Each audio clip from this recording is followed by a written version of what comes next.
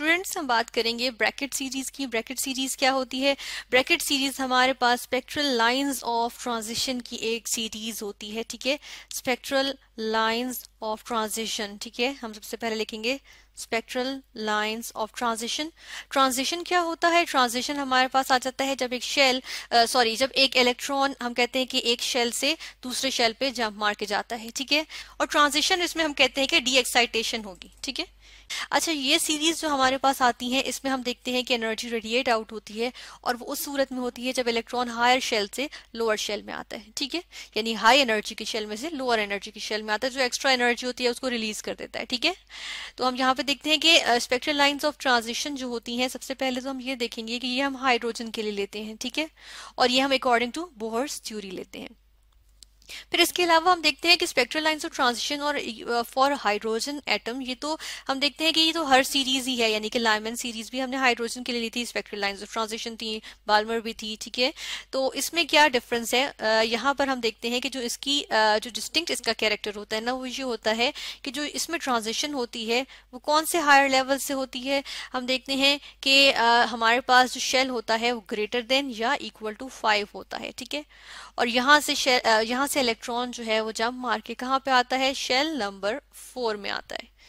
जिस तरह से यहाँ पर अगर हम देखें तो इलेक्ट्रॉन क्या करता है? हम फिर से इस बात को देखते हैं कि इलेक्ट्रॉन जो है वो शेल नंबर फाइव या उससे ऊपर के, यानी कि हायर एनर्जी के शेल में से जंप मार के शेल नंबर फोर में आता है। तो एनर्जी जो एमिट होती है उसको हम कहते हैं कि वो जो उसकी उसकी वजह से जो जो एनर्जी एमिट होती है या जो रेडिएशन एमिट होती है, हम कहेंगे, रादर हम कहेंगे कि, जो रेडिएशन एमिट होती हैं उनकी जो स्पेक्ट्रम में जो हाइड्रोजन के स्पेक्ट्रम में जो वो लाइंस आती हैं वो कहाँ पे आती हैं वो आ, हमारे पास आई आर रीजन में आती हैं ठीक है? इंफ्रारेड रीजन जिसको हम कहते हैं I R region infrared region ठीक है? यहाँ पर हम लिखेंगे रीजन और ये इंफ्रारेड रीजन में क्यों आती है इसकी हम रीजन देख लेते हैं कि जब हम ऊपर जाते रहते हैं हायर शेल्स की तरफ़ जाते हैं तो जो एनर्जी डिफरेंस होता है ना दो शेल्स के दरमियान वो कम होता चला जाता है।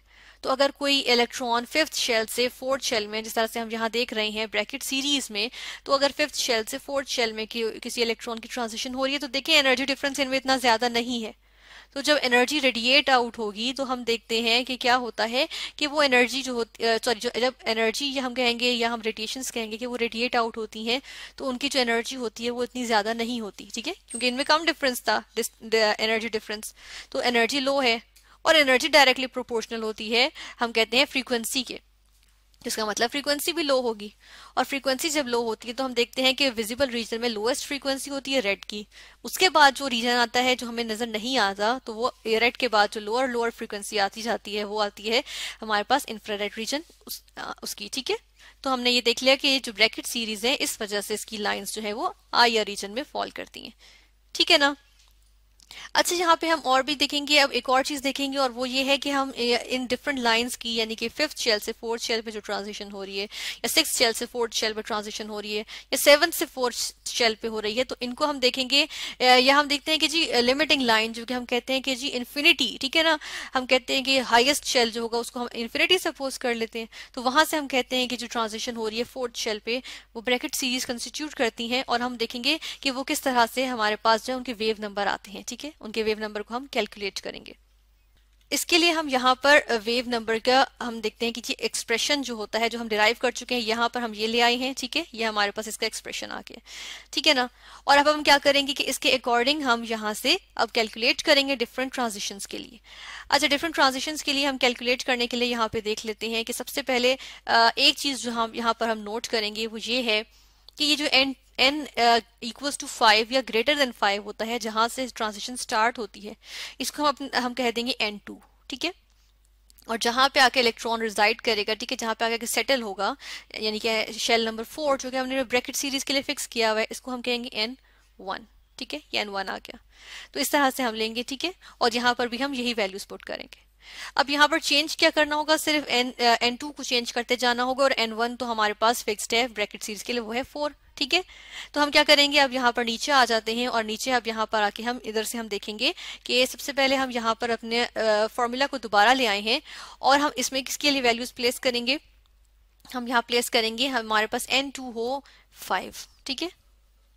तो इसके लिए हम जो है वो यहाँ पर देखेंगे कि अगर एन टू यानी कि फिफ्थ शेल से फोर्थ शेल में ट्रांजिशन हो तो हम कहते हैं कि यहाँ पर जो स्पेक्ट्रल लाइन आएगी, उसके वेव नंबर क्या होगा, हम इसको कैलकुलेट कर लेंगे, ठीक है?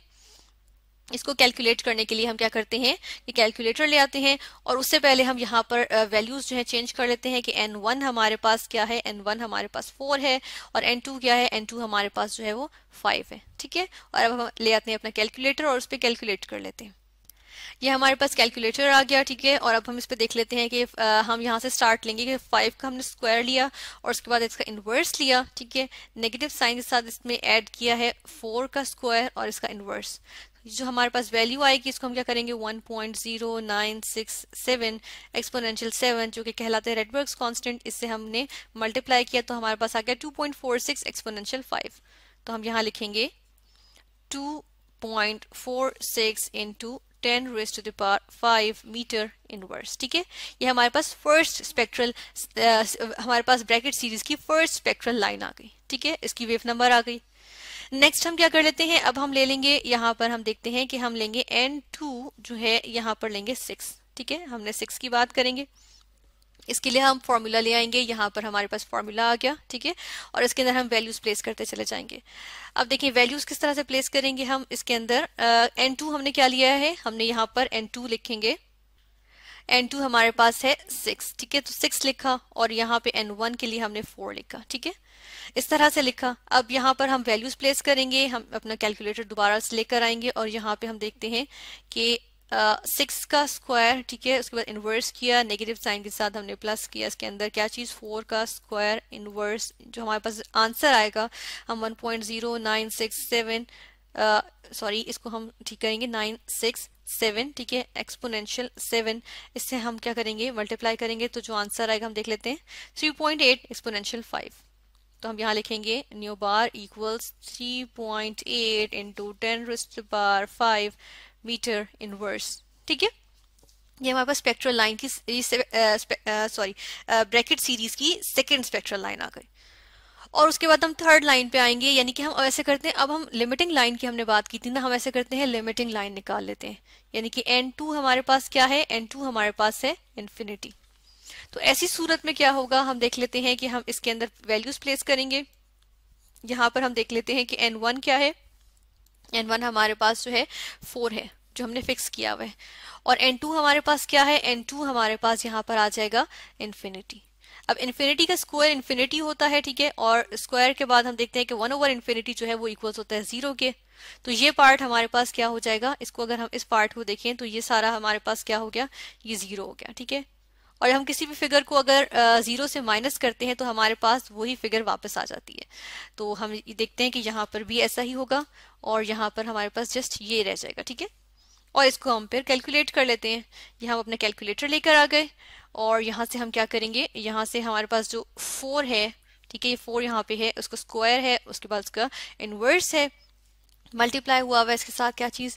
रेडबर्ग्स कांस्टेंट 1.096 सिक्स सेवन ठीक है?